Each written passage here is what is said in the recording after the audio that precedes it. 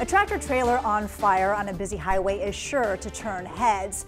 On Business 40 this week, how the flames were put out was especially interesting. The two men pulled over, took out a pressure washer, and got to work. WFMY News 2's Ariel Cadet talked to them about the split-second decision to help someone in need. Driving down Business 40 in Kernersville, you might have been shocked to see this. It's a car trailer caught on fire. When I come through, the traffic was so bad, everybody, you know, were looking at it, and I noticed that the trailer had just started catching on fire. So instantly I called him. We're hauling 300 gallons of water.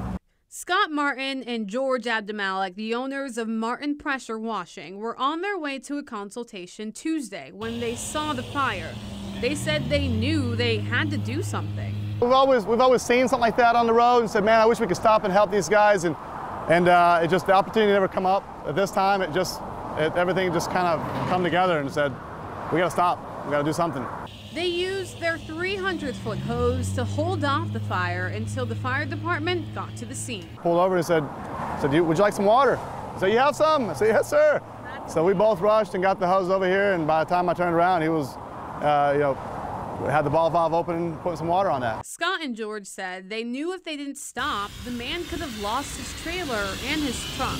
They say sometimes timing is everything. God put us in the right place to help help a gentleman and uh, to keep, you know, for other things, people, traffic backing up and people, something else might have happened and we just, you know, right time, right place. The two men tell me they're grateful for first responders who risk their lives to do things like this every day.